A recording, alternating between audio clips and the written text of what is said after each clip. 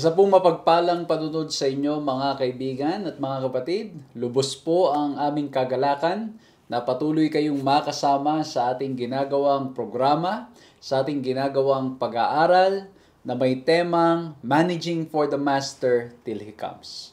Patuloy po nating tinutuklas kung paanong tayo ay magiging mabuting katiwala ng ating Panginoong Diyos, ng ating Panginoong Diyos sa lahat ng aspeto ng ating mga buhay.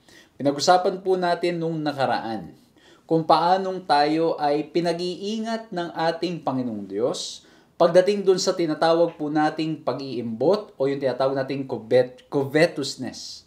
Ito ay isang paalala, isang pagpapahiwatig sa bawat isa sa atin na ito ay maaring mangyari sa atin. Na maaring tayo ay maging abala sa paglilingkod, paghahanap buhay at marami pang iba na hindi natin napapansin na ang ating dahilan na.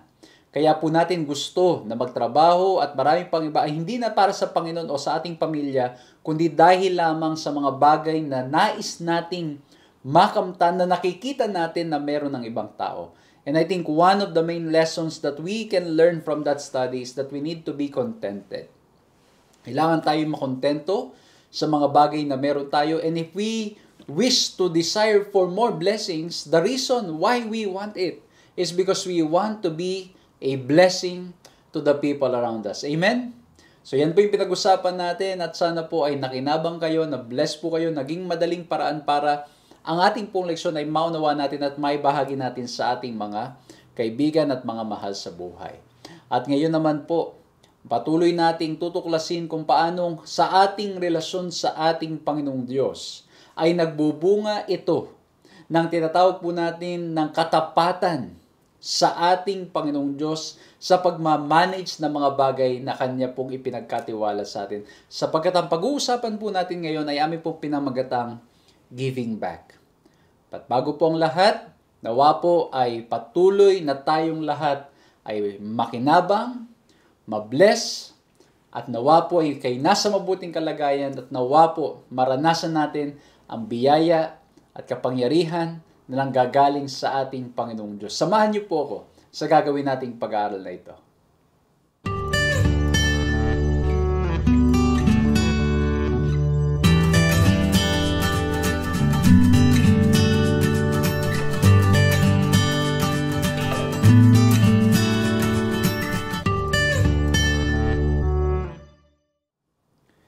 Ako po si Pastor John Alexis Mercado at patuloy po kayong nakik- na sumusubaybay sa ating pong programa dito po sa Three Points Ministries.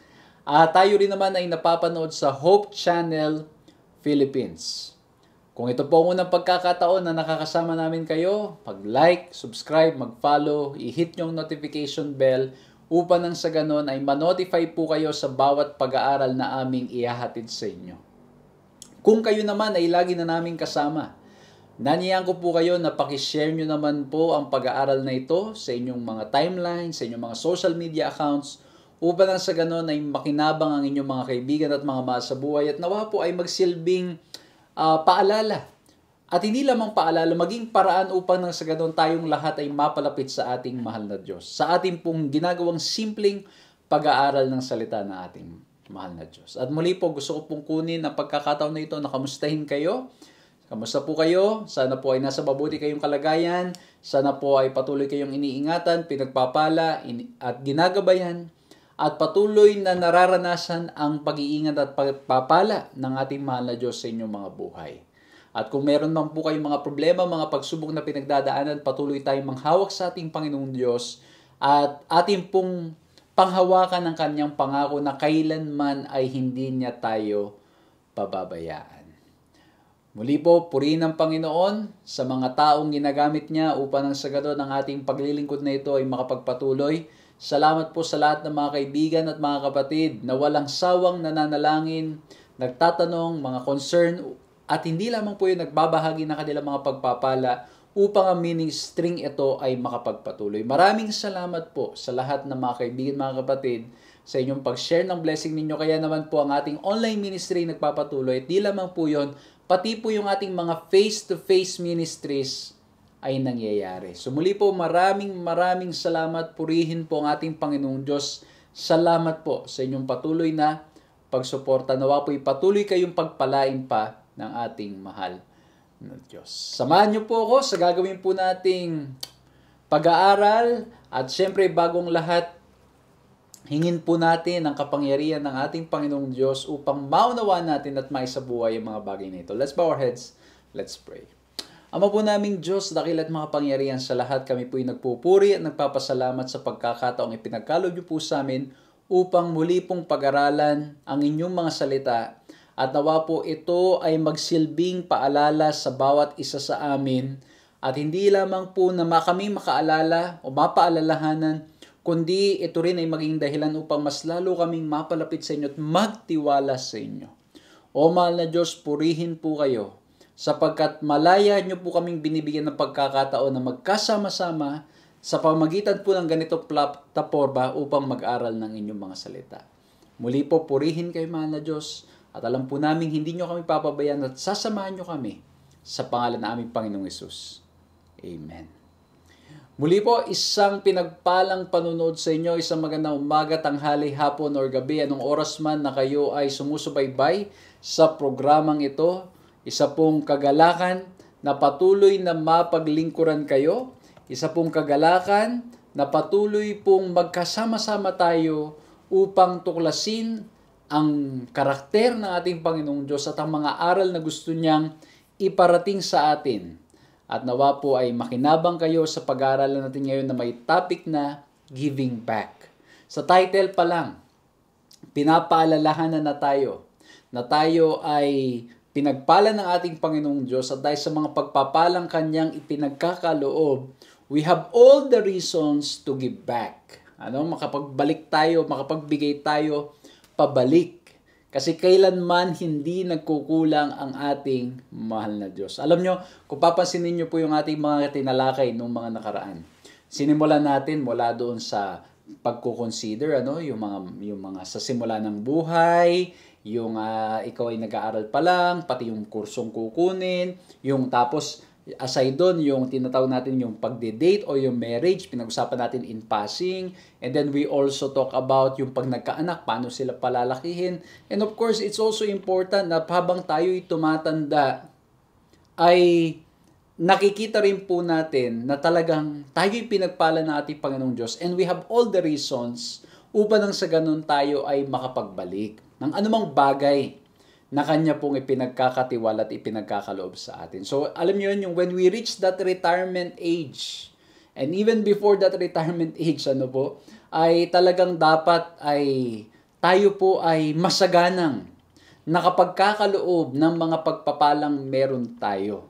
Okay, well, pinag-usapan natin noong nakaraan. Pag pinag-usapan natin pagpapala, hindi ito limitado sa salapi o maging sa mga kagamitan Well, yung buhay, yung kalusugan na meron tayo, ito'y pagpapala sa ating Panginoong Diyos.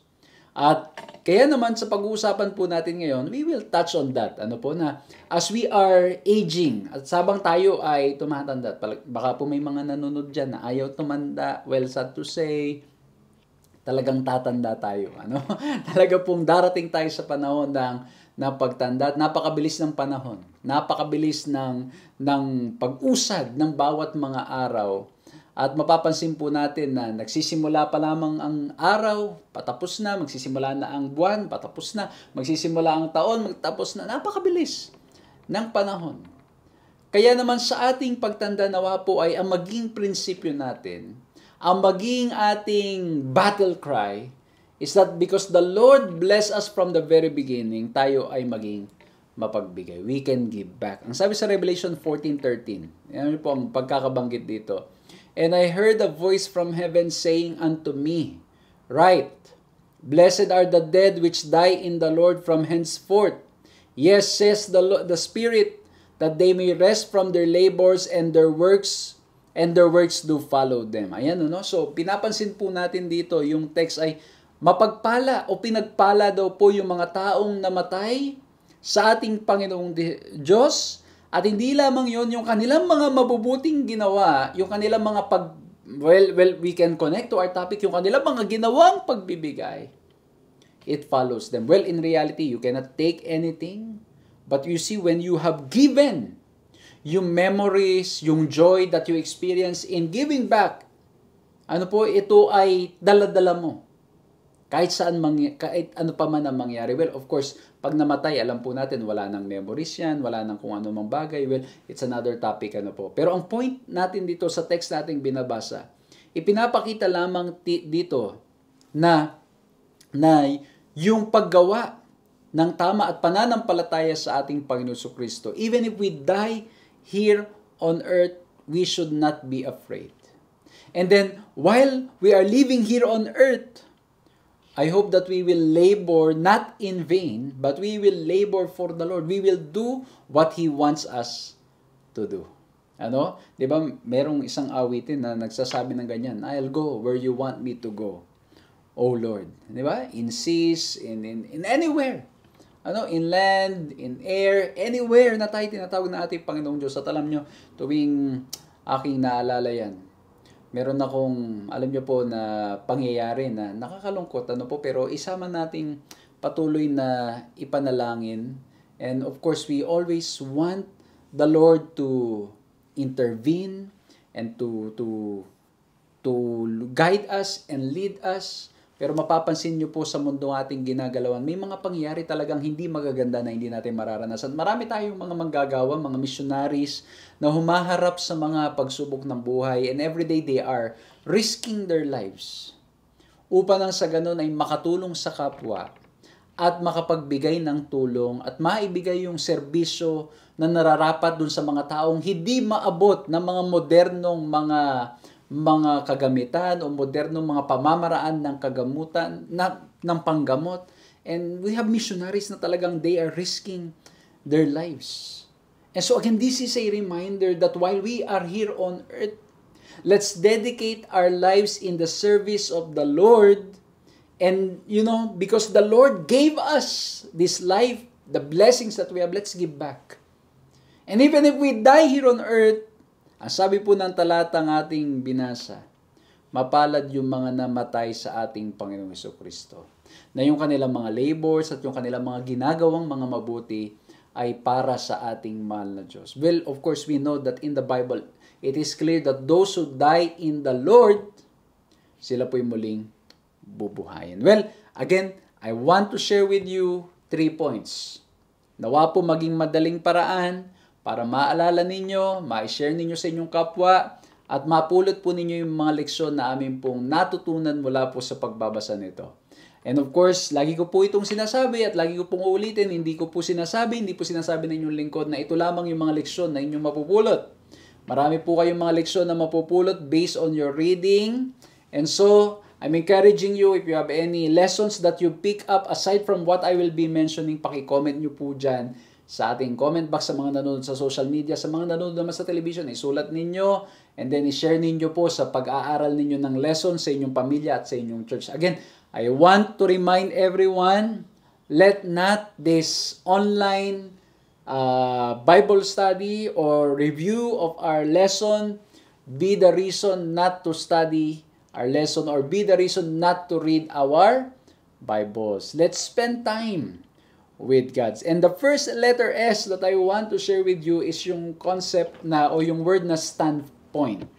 The standpoint or in other words yung ating pong point of view, perspective or attitude towards something. And what's our attitude towards giving back? Okay? Uh, ano yung ating iniisip? Bakit kaya marami ay hindi nakapagbibigay? Bakit kaya marami ay parang hindi nila iniisip yung pagbibigay sa mga panahong ito? O maaaring, alam nyo, may naalala kong isang kwento na meron daw pong isang bata na ang sabi, I'm too young to give back to God. Tapos nung siya'y naging binata na, at siya'y nag-aaral na, uh, sabi niya ay I'm too ano, I'm I'm I'm too busy. Nag-work na, I'm too busy. I'm too busy para gawin 'yan. I'm too busy to give back. Nung matanda na, syempre, ang dami ng mga, yan na, lumbas na yung mga karamdaman, mga sakit, so yung mga natatanggap niya mga pagpapalad, nagagamit na lang sa mga gamot at marami pag I'm too old to give back. At alam nyo, dun daw po sa lapida, nung namatay na.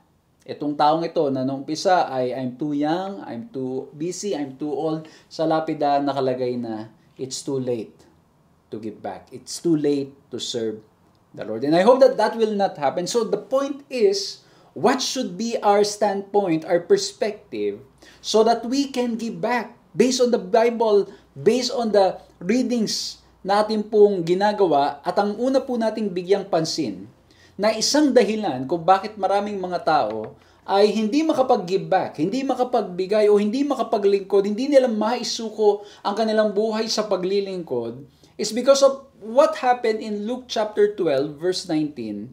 At dito po sa text na ito, ito honestly, it's a story you can read all throughout Luke chapter 12 dun sa particular pericope po nito.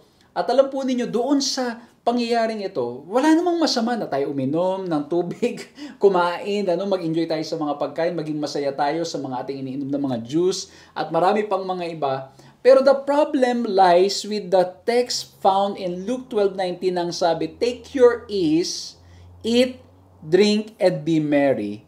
And ito mga kapatid, in itself is not negative, but the context tells us that the characters in this story is not concerned about God.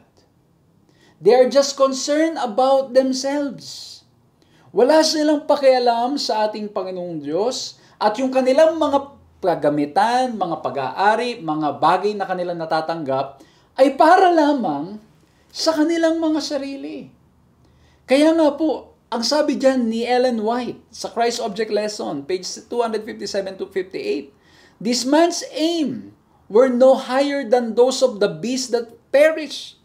He lived as if there were no God, no heaven, no future life, as if everything he possessed were his own, and he, ho- he owed nothing to God or men. Ang iniisip lamang ay ang sarili. And sad to say, the world that we are moving right now or we are living right now promotes this kind of life, this kind of standpoint, this kind of perspective. Na dapat ang iniisip lang natin, ang mahalaga lang yung ating mga sarili. Ano po, mahalaga, ma-enjoy mo, magkaroon ka ng mga ganitong mga latest at marami pang iba. And not be concerned about who God is and not be concerned about the people who are in need. And that's why all throughout our study dito po sa pinag-uusapan natin, pinag-aaral natin, it is very clearly stated that we need to be thinking or not just thinking, but committing ourselves to God, and at the same time, thinking of the people around us because we are not on our own. We are brothers and sisters in Christ, and we are to help one another. Pero again, mga kapatid, many have the thinking that, okay, just think of your own. Isipin mo lang yung sarili mo. At alam nyo, sa maraming, maraming mga bagay nangyayari to. Maging alam nyo po, I've been busy, traveling to different places, traveling na maglingkod sa iba't ibang lugar. At alam nyo, even now, ano po, ang inyong lingkod ay nagbabiyahe kung saan-saan nai-invite na mag-share po ng may kinalaman sa digital evangelism. And again, I want to say thank you to Adventist World Radio, at the same time sa mga kapatid na talaga namang napaka mapagmahal at iniisip ang gawain ng ating Panginoong Diyos. Alam niyo yun, bawat ating mga kilos at galaw ay sila po'y nariyan to support para nang sa ganon ay matupad at mangyari yung mga gawain na ito. Alam niyo yun, yung para siguraduhin tuloy-tuloy at walang pipigil sa gawain ng ating Panginoon. Maraming maraming salamat po. At alam niyo, sinishare ko, sa digital evangelism, And, and, and when it comes to responsible usage of our digital platforms, ay man, minsan talaga ang tendency is we only think of ourselves. What we post minsan ay iniisip lang natin sarili. We don't care if it will hurt anybody or or somebody. We don't care if it will, you know, destroy the ano the the picture of an institution. Ano, minsan maganda yung mga sasabihin, maganda yung mga ating mga ipaparating, but at the expense na tayo ay makakaapak at makakatama ng ibang tao. Ano po? Well, of course, iba yung iba yung rebuking and iba of course we need to do that. But to do it in the social media platforms, uh, alam yun, yung publicly and involving maging yung mga taong hindi naman nakakaalam sa issue, I think that's that's not right. That's not right. So we need to be responsible. So, ito mga kapatid nangyayari. Ano po may mga taong they only think of themselves. Alam yun yung meron na silang mga ganito, pero they will still want to think of how they can get more. Instead of thinking about the needs of the people around them and also, at alam niyo naman mga kapatid, yung opposite naman yan, yung standpoint or yung clear na dapat na perspective natin, yes, ano po no, na dapat hindi ganito, na hindi ang iniisip lamang natin ay yung ating mga sarili, eh ano, isipin natin, of course, the opposite, which is the right one, is to think of God and to think of others. Alam nyo, meron tayong mga kaibigan, mga kapatid. And of course, I will not mention names because they do not want to na mention ang kanilang mga pangalan. May mga ilan tayong mga kapatid na alam nyo, they will invest into business only for the reason that they want to be a blessing to others and to the work of God. Amen? May mga taong ganyan na ang iniisip ay mas lalo pa sila maging pagpapala sa mga tao sa kanilang paligid. Kaya gusto pa nilang kumita. At totoong-totoo nga naman. At meron akong kilala, mga kaibigan, mga kapatid. And I guess I mentioned this from time to time dito po sa pinag-uusapan natin itong pagiging katiwala natin Panginoong Diyos. Alam niyo yun, that, that, that this person is praying for a higher salary. And then when the Lord granted it, alam po ninyo, almost 80 to 90% is being given all to the ministry. 90%. Given, of course, tithes, and then 80% is given for the ministry. And sometimes even, alam mo, wala na nga minsan matitira. Para lang nang sa ganun, ang gawain ay makapagpatuloy. Eh so we need to have that mindset.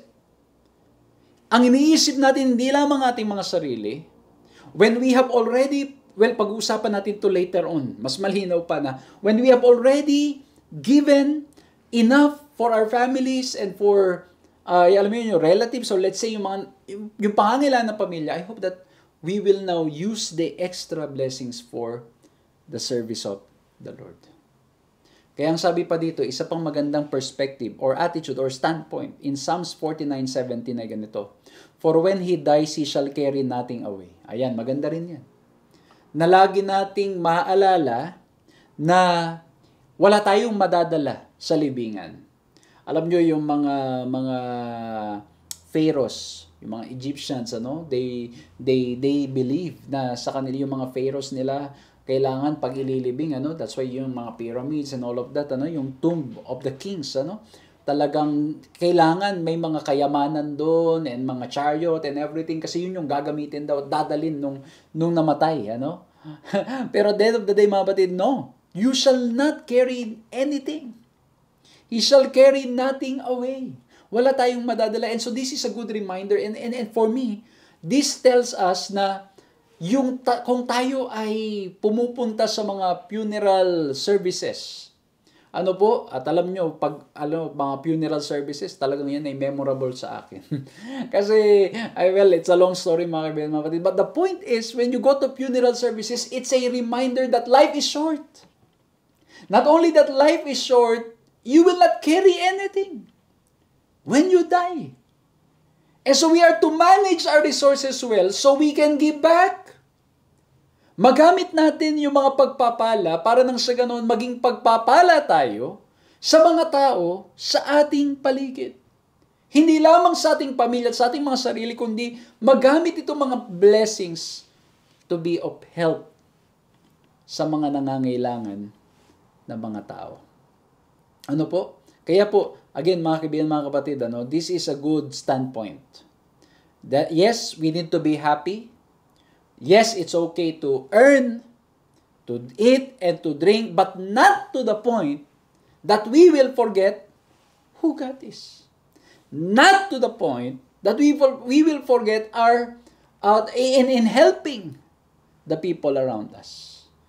And then we need to also remember that when we die, we shall carry nothing away. Ano po? Kaya ang pinakamaganda na magagawa natin, we only live a short life here on earth. Let's use that to be a blessing to the people around us. Amen? Ha? Kung tayo man ay mabubuhay pa sa every araw, every buwan, every taon na tayo buhay, gamitin natin ang mga oras na ito para nang sa ganoon, maging pagpapala tayo sa mga tao sa ating paligid. At alam niyo mga kaibigan, mga kapatid, when we die, itong mga ginagawa natin mga mga simpleng mga pamamaraan in giving back, not just to God but also to the people around us, ito ay magiging witness to a lot of people ano po, magiging witness. At of course, we are fulfilling yung nais ng ating Panginoong Diyos that we love one another. Ano, mahalin natin yung ating mga kapwa because we look at the life of Jesus Christ, He gave it all. He did not, you know, think of Himself. Hindi niya inisip ang kanyang sarili, and even at the point of death, He was ready to give it all so that we can have it all. Huh? So we can have it all. Because when we, we have Christ, uh, and, and, and everything that we have here on earth, we are enjoying it because of what Christ did for us, because He gave it all. And once we realize that, we will have a clear attitude, perspective, or standpoint about things. And we will not just, you know, be enjoying life. Kaya po, di ba yung lagi nating sinasabi, o hindi pala lagi, kundi yung mga narinig ko yung YOLO. You only live once. Kaya lang, alam niyo, yes, that's true. You only live once. Kaya lang naging konteksto niya ay dahil you only live once, well, you enjoy life. You think of yourself. You think of what you want, ano, without thinking of God and thinking of others. Yes, again, it's okay to enjoy. It's okay to get yung mga kagamitan na ating magagamit para sa pagliling o sa mga maraming bagay. Pero again mga kapatid, not to the point of forgetting that we have a God and not only that that we have our neighbors na ating dapat ding mahalin tulad ng pagmamahal sa atin ng ating Panginoon Yeso Kristo. Amen? So number one, standpoint. Now, number two, let's look at the scheme. Okay? The scheme of giving back. Anong pwede nating gawin? Ano po? Well, ang ganda ng pagkakasabi sa Proverbs 27:23 to 24. Be diligent to know the state of your flocks and attend to your herds. For riches are not forever, nor does a crown endure for all generations. Ah, ayan ha, malino na sinasabi do sa verse 24, riches are not forever. Ano po, posibleng you have all the resources now, then later on ano po mangyari? Something happens, merong calamity, may nangyari, o kaya naman yung, yung you have invested your money, then suddenly they declared bankruptcy. So alam mo, anything can happen na mawawala itong mga pagpapalang ito. At yung crown, ano, yung gold and everything, it will not endure to all generation. Mauubos din yan. Ano po? Pero ang sabi dito, be diligent to know the state of your flocks and attend to your herds. So yung pangangailangan, ano po, ng ating mga pamilya, ng ating sarili ay kailangan din nating isipin. Kaya nga po sabi dito, we should be diligent in our financial affairs in order that we may have enough for ourselves and our family. So ibig sabihin mapatid na scheme or we plan.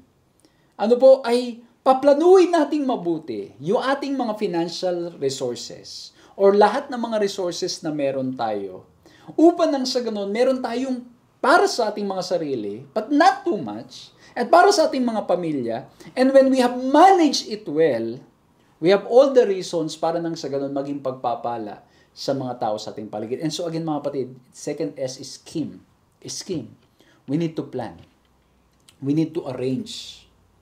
We need to see mga kapatid, mga kaibigan ko, kung paanong tayo ay magagamit ng ating Panginoong Diyos para maging pagpapala sa mga tao sa ating paligid. Well, sad to say, maraming mga tao ngayon ay they didn't have the opportunity to, alam yun, to be financially educated. And many people have suffered because of not receiving this kind of instruction. Alam yun, yung they were not trained to save and not only that to manage their resources well. And so, ayun, nauubos kagad, nagagamit sa mga maling pamamaraan, nagagamit sa mga bagay-bagay lamang na hindi Importante, alam niyo naalala ko no minsan, meron akong napanood na isang NFL player, I think football. At ang nangyari doon mga kaibigan, mga kapatid, he was interviewed. And he was sharing his story na nung siya ay nagsisimula pa lamang, he was not buying a house, a car, he was not buying yung mga mga signature na mga clothes and and dress and all of that. Alam niyo yun, sabi niya, hindi, hindi talaga ako bumibili niyan. And alam niyo, kumikita na siya ng mga milyon-milyon, pero ang ginagawa niya, he was just saving it. Isinisave niya, of course, mga kapatid, in other parts of his life, he is not perfect, and no one is perfect. Pero dito sa part ng life niya na ito, talagang grabe mga kapatid, he was not, at alam niyo, tinanong siya, yung, and, and nakita siyang may suot siya ng mga, ano yun, of course, uh, iba pong kanyang pananampalataya at paniniwala pero may mga suot siya mga alam mo yung mga alas at marami pang mga iba. And then he was interviewed why were you wearing that? And he said these are all fakes. And then uh, sabi niya why do I need to buy original? Sa yung relo. Ano sabi niya why do I need to buy a a watch that will cost me thousands of dollars when it's the same purpose? Malalaman ko lang yung oras. Alam mo yung mga ganung mga bagay mga kapatid? Ganun yung kanyang mga ginawa. He managed his resources well. And so what happened mga kaibigan, mga kapatid, even up to now, he, he stopped playing for how many years already, even up to now, he still was able to save, I think, about 70 to 60% ng kanyang kinita sa paglalaro. Unlike with his colleagues na talagang naubos lamang yung pera sa pagbili ng mga luho, ng mga bahay dito, bahay doon, at marami pang iba din, they are even more poorer than him. Ano po? So, ang point, we need to plan. Kailangan malinaw yung arrangement natin ginagawa. Para nang sa ganun, we can provide for our family. And now, sinasabi niya, kinikwento niya mga kapatid, nalimutan ko po yung pangalan, pasensya na kayo, pero alam, kinikwento niya na, na yung kanyang pamilya is, kan, ano, na ipo-provide yung mga pangangailangan and yung mga needs ng mga tao sa paligid, he is able to to do it, to provide for them. Ano po? And of course, ano pa po? Hindi lang yon syempre naman kaya, kaya ang pinag-usapan natin, giving back, we plan all this so that we can give back. Na habang tayo'y nagtatrabaho, tumatanda, hindi lamang natin mauubos yung salapi o yung ating mga kinita sa ating mga sarili, kundi ito'y magagamit para nang sa ganun, mas malalo pa tayong maging pagpapala sa mga tao sa ating paligid. Kaya nga po, even in our death, ano, itong mga bagay na matatanggap natin, mga bagay na ini-enjoy natin, we will not carry that. And so we need to plan. Ano po, paplanuin natin yung expenses natin. And also, also as we grow old, we plan also. And even at the point of, alam mo yun, yung death, we need to plan. Ano kasi bakit? Baka, baka alam nyo yun, yung mga iiwan ninyong resources sa inyong pamilya. Ewan ko po, mga kaibigan, mga kapatid, na-experience nyo ba ito o Baka may mga kilala kayo, pero syempre wag nyo nang pag-uusapan kung kilala din nyo. Pero ang point, di ba may mga pangyayari na yung, yung iniwang ari-arian at saka mga resources, dahil hindi na pagplanuhan nung magulang, kung paano ito hahatiin at paano ito i-distribute sa pamilya, pinag-away-awayan. At meron pang iba kong kilala na talagang to the point na sabi, eh, Pastor, magpapatayan talaga kahit magkakapatid. Mag-aaway-away. Ano? Para lamang nang sa ganun ay they can get more.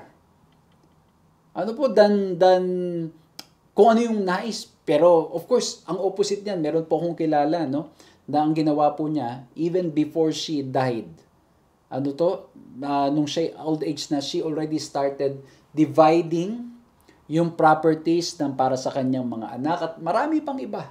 So that pag siya daw po'y namatay ay hindi na pagtatalo-talunan nung kanyang mga mahal sa buhay. So, ang point mga kapatid, we need to plan all of this. Tingnan nyo sabi dito, good stewardship of what God has blessed us with with God with God has blessed us with doesn't deal only with what we have while alive, but also with what happens after we are gone.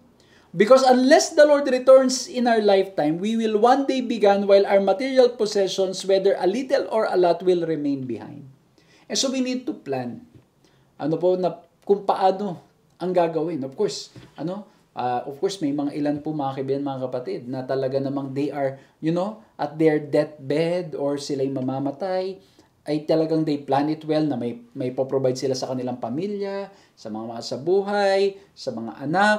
And then alam niyo pag marami pang excess, ano, they also use that fund to be donated sa mga gawain, madonate sa church, makapagpatayo ng iglesia dito sa lugar na ito, may donate itong lupang ito pa. Alam yun, but of course, making sure na yung state ng flux o yung mga anak, mga mahal sa buhay, they are already in good.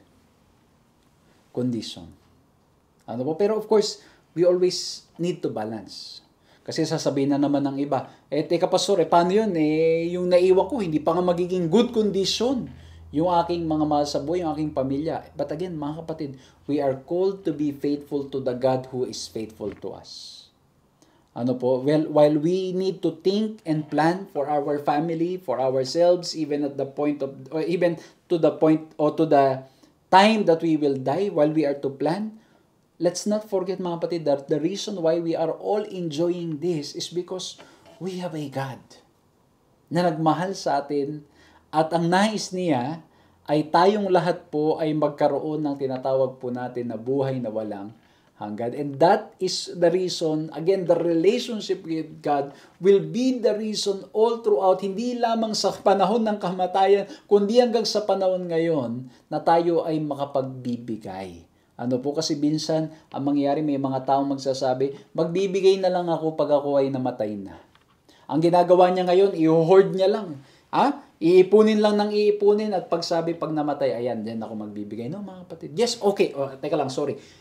That's good. Ano po? That's good na you're thinking na in the in, in later on at the end of your life, you're thinking about the Lord. It's good. Uh, praise the Lord. Uh, that's very remarkable. But even more remarkable is if we start even now doing that na tayo ngayon pa lang ay nagbibigay na, na tayo ngayon pa lang ay nagigive back na o nagagamit na ng ating Panginoong Diyos. Ano po, hindi yung kung kailan lang tayo mamamatay, doon lang tayo magbibigay. Kasi again, we don't know when death will come. Kaya tinan nyo, ang ganda ng sinabi ni Ellen White. Medyo pumahaba, pero samahan nyo po ako.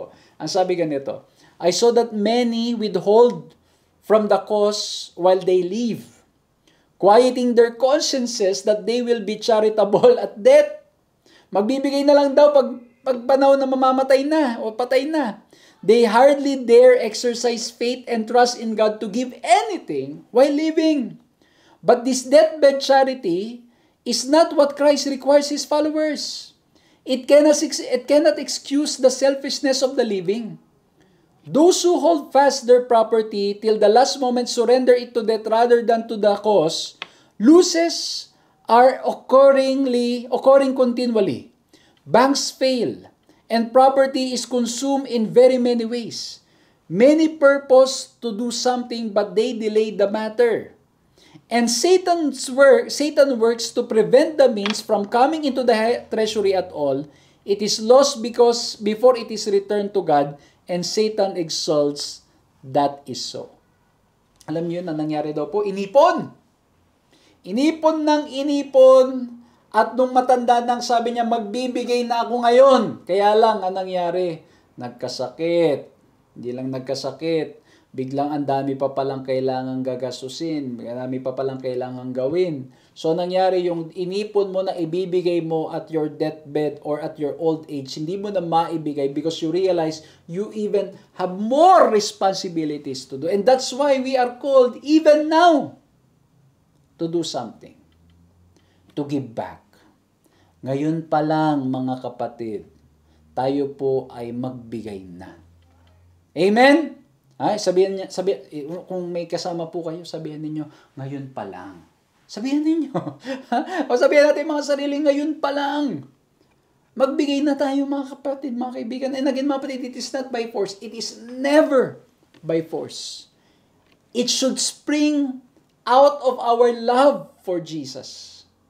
Mga kapatid, walang, kahit sino man ang makakapagpilit, walang sino man ang makakapag, alam nyo yung makakapag, uh, sabi sa inyo na ito ang dapat ninyong gawin because at the end of the day, when you are growing in your relationship with God, this will follow. This will follow. Ano po na tayo ay matutong lalo pang magamit ng Panginoong Diyos sa kanyang gawain. And so mga patid, we plan. Ngayon pa lang, pinaplano na natin. Siguro kung may, alam niyo, may matanggap tayo planuhin na natin yung ating, of course, yung ating tithe, yung ating offering, and then yung fund that we can use to help people. Ngayon pa lang. And then at deathbed, ano yun, kung tayo tumanda na, and then we have extra resources that the Lord will bless us, let's plan it well. Ano po, yung mga, yung mga ari-arian na meron tayo, mga lupa at marami pang iba. Alam nyo yun, syempre, yun, sinabi rin naman ng lesson natin, isipin natin yung pamilya natin. Ano po, but not to the point na, alam yun, hindi na natin iisipin yung gawain. So, isipin din natin, ano po, na baka makapagbigay pa tayo, no, sa mga bagay na meron tayo. And again, mga patid, even how small yung meron tayo, sabi nga na isang awitin, little is much when God is in it. Ano? At meron pang isang sabi dun na, yung sabi dun, when you place it in the Master's hand. Ano? Yung pag nilagay mo sa kamay ng Diyos, kahit napakaliit pa yan, mga kapatid, lumalaki. Nagagamit ng ating mahal na Diyos. So again, mga kapatid, number one, we talk about standpoint. Your attitude, our attitude towards giving back. Let's, we talk about scheme the scheme of giving back. Ano na, ngapat pinaplano natin mabuti. While iniisip natin yung pamilya natin, iniisip natin yung mga mahal natin sa buhay, iniisip natin yung mga sarili, but most of all, let's think of God.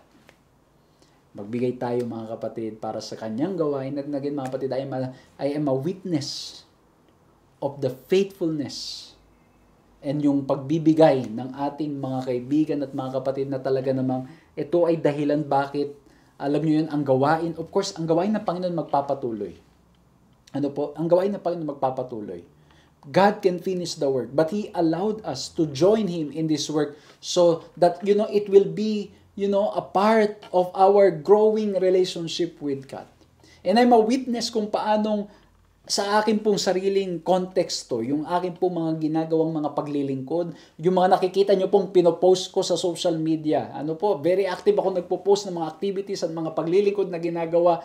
Nagagawang lahat yan dahil po may mga kapatiran na talagang they plan their resources well. Okay, ito na sa pamilya ko, ito na sa pag-aaral mga anak ko, ito ngayon sa gawain alam yun, isang project, isang text lang, ay talaga naman, may mga kapatid na talaga, okay, Pastor, we will be ready to support and help all for the glory of God. And I hope and pray, mga kapatid, we will have the same experience. Ha? At alam niyo mga kapatid, I, I, I, I am so blessed to be able to experience giving back. In reality, what I have given is not even enough compared to what Christ gave for us. Ha? Yung binigay ng Panginoon yung buhay niya. Tapos tayo ay inihingan lamang ng mga ganitong bagay. Kapatid, it's not enough, but I experienced by God's grace to give whole salary for Him. And it was a fulfilling experience. I experienced how God can provide. Ngayon, let's look at the satisfaction. Let's look at the satisfaction. This is the last letter S. At ang linagay ko po ay satisfaction. And of course, I want to read a text, mga kaibigan mga batid, in Acts 20.35. Ano po yung last part lang, ang sabi, It is more blessed to give than to receive. Okay? Ang satisfaction, ang pros, advantages, when we are already giving now, at hindi tayo naghihintay sa old age o sa ating kamatayan, bago tayo magbigay ngayon, ang sabi dito, we are blessed. Bakit? Yan yung sabi dito ni Ellen G. White. In giving the work, in giving to the work of God, you are laying up for yourselves treasures in heaven. All that you lay up above is secure from disaster and loss, and is increasing to an eternal and enduring substance, and will be registered to your account in the kingdom of heaven. Ibig sabihin mga kaibigan, mga kapatid, bakit we are we are keeping and we are securing our blessings When we give now, because mga kapatid, we are learning to be selfless. Natututo tayo. Nagiging kabahagi tayo ng ginawa ng ating ng ng ating ng gawain ng Panginoong Diyos. Na, na naiintindihan natin at nararanasan natin na tunay nga na pag tayo'y nagbibigay at tayo'y naglilingkod, makikita po talaga natin mga kapatid. I have proven this in, in, in my 13 years of service in the ministry. Mga kapatid, pag tayo naglilingkod, tayo tumutulong, nagbibigay, kita po natin talaga na alam niyo minsan we have self-pity, nakala natin tayo yung kawawa, Well, in reality, may mga ilang kawawa, pero may mga tao pang mas matindi ang pinagdadaanan sa atin. And we can give something Even small things. At ito po yung mga blessings. Ito yung satisfaction. When we start giving now. Ito po, number one. The donor actually can see the result of the gift. It could be a new church building, a young person in college, or an evangelistic campaign funded. Di ba pag nagbibigay ka ngayon, kita mo yung resulta. May mga trainings na nagagawa. At alam nyo mga patid, again, thank you po. Yung mga digital evangelism training ng inyong lingkod dito sa Pilipinas at maging sa ibang bansa, may mga kapatid na talagang handang laging magsuporta. Ano po? At kita yung kita yung result, kita yung mga tao umaatin, kita yung church na natatayo, kita yung mga kaluluwa o mga mga taong nabibinyagan at tumatanggap sa ating Panginoon Kristo. Kita yung mga estudyanteng nakapagtatapos. So that's the blessing of giving today. Ano pa? The ministry or person can benefit now when the need is greatest. Ha? Yung taong nangangailangan, matutulungan mo talaga. Yung taong walang makain, mabibigyan mo yung taong uh, namong problema, matutulungan mo ngayon na mismo. Ato pa, ito pa, there is no fighting among family or friends after your death. Ah, hindi sila magtatalo-talo. Because you have already planned and given back yung mga pagpapala. Ha? ha? Naibigay mo na sa pamilya mo, sa gawain at sa iba pang marami. Ayan mga kapatid. Ano pa? At sabi pa dito, it sets a good example of family values of generosity and love for others. Ayan, ano? Yan pa yung magandang makita ng ating mga mahal sa buhay, ng mga pamilya, ng mga anak natin, na tayo ginagamit ng Panginoon para maging pagpapala sa mga tao sa ating paligid. Ha? At alam nyo mga kapatid, ay nakakatuwa kasi po alam po din nyo, maraming salamat po dun sa mga talagang nag grabe mga kapatid. Alam nyo, I have so many uh, re, uh, so many stories to share and even uh, gratitude for those people you you know yung talagang grabe mga kapatid na nakapag na nagbibigay and and alam po ninyo because of all these blessings ginagawa po namin ni Mrs. when we uh, receive something, we make sure na meron dapat kaming tatanggalin na, alam yon pag may natanggap kami isang gamit, dapat may tatanggalin kami na maipamimigay namin and we do this every year. Ano po? At nakikita ng mga anak namin na binibigyan namin yung mga tao. Nakakatuwa mga kapatid. And, and, and it's true. It helps yung family values na dapat tayo ay maging mapagbigay. Ano pa? It minimizes state tax consequences. Ano po? It guarantees that the gift will be made to your desired entity. Ha? Kung saan mo gustong ibigay, doon mapupunta yung regalo. Kung magbibigay ka ngayon. Ano pa? It demonstrates that the heart of the donor has been changed from selfishness to unselfishness. Ayan po yung blessing. Ano po, na talagang ngayon pa lamang nakikita po natin yung pagbabagong naidudulot ng ating pananampalataya, paghawak sa ating Panginoon Kristo, yung ating paglapit sa Kanya. Ngayon pa lang, nababago na po tayo. And when we are, you know, yung, yung selfishness is taken away from us, we will be happy. We will be joyful. Kaya in reality, when we give, we are truly blessed. Kasi tayo po mismo ay pinagpapala. At tayo po mismo nararanasan natin yung tunay na kasiyahan. And lastly, of course, it stores up treasures in heaven. Ano po? Ito yung nagpapakita na hab sa ating mga pagbibigay ngayon ng buong puso, na mga pagsekripisyong ating ginagawa para sa mga tao nangangailangan, sa gawain ng, ng church, sa mga ministries, ano po, na ito tulad ng ginagawa natin, at sa marami pang mga ibang mga gawain ng inyong mga iglesia, ng inyong mga mga barangay, ng inyong, alam niyo yung mga gawain lahat ng ito. And especially when we do it out of our love for Jesus, it stores up treasures in heaven. At ang nangyayari mga kaibigan, mga kapatid, the more we are growing in trust, in love, we are growing sa in grace because we realize that even before we give back, Christ gave Himself for us. Christ gave it all. God gave His all. Para nang sa ganun magkaroon tayo ng buhay na walang hanggan. And this is the satisfaction when you do means when you give back today. Ano po? Pag tayo nagagamit ng Panginoon. Ngayon pa lang, Hindi yung maghihintay tayo ng kamatayan sa tayo magbibigay. Ngayon pa lang, you will experience the joy of service. The joy of serving the Lord and serving others. So again mga kaibigan, mga batid, ang title po natin, Giving Back. We learned three, uh, meron po tayong three points. Standpoint, scheme, and satisfaction. At tawa po ay na-bless kayo at nakinabang po kayo sa ating pinag-aralang ito. Nawa po ay patuloy tayong lumago sa ating relasyon sa Panginoon at ang maging dahilan ng ating pag-give back ay hindi dahil napilitan tayo. Hindi dahil may pumersa sa atin. Hindi lang dahil tayo ay nasa posisyon o dahil tayo ay pastor or elder or diakono or ano paman, kundi dahil naranasan natin ang pag-ibig ng ating Panginoong Heso Kristo. Amen?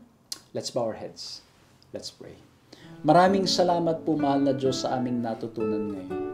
Lord, tunay po, na ngayon pa lamang, Tulungan nyo kaming maging mapagbigay. Maging inspirasyon po namin ang buhay ng aming Panginoon Kristo na ibinibigay ang lahat, hindi iniisip ang kanyang sarili lamang. Ang iniisip ay kung paanong magiging pagpapala sa mga tao sa kanyang paligid. O mahal na Diyos, tulungan niyo po kaming gawin ito. Habang iniisip namin ang aming pamilya, ang aming mga pamangangailangan, Lord, tulungan niyo po kaming isipin lalong higit kayo po at hindi lamang yun ang mga tao sa aming paligid, ang mga gawain na dapat pong masustentuhan o dapat na ma- ma- ma-bless upang nang sa ganun ang paglilingkod ang gawain ay makapagpatuloy. Mahal na Diyos, purihin po kayo. Maraming salamat po sa inyong dakilang pag-ibig. Salamat po sa inyong pagmamahal. Salamat po at hindi nyo kami pinapabayaan. At ngayon po, mahal na Diyos, nawa pong lahat ng mga kaibigan mga kapatid ay patuloy na lumago sa kanilang relasyon sa inyo at anumang pagsubok, problema na kanilang pinagdadaanan, patuloy niyo po silang samahan, palakasin, at patuloy na makita pong kayo ang sagot at kayo ang aming kayamanan sa buhay na ito. Maraming salamat po sa pangalan ng aming Panginoong Yesus. Amen. Muli po maraming salamat mga kaibigan at mga kapatid. Purihin ang mahal na Diyos at tayo ay muling nakapag-aral, nakapagtapos ng isang na namang leksyon at patuloy ko po kayong inaniyan sa iba pang mga pag-aaral na ating ginagawa. Again, I'm inviting you to share this program. Nawa po mabless, na-bless kayo at mabless din ang mga kaibigan ninyo. Purihin ang mahal na Diyos. Muli po, maraming salamat. Magkita-kita po tayong muli sa susunod na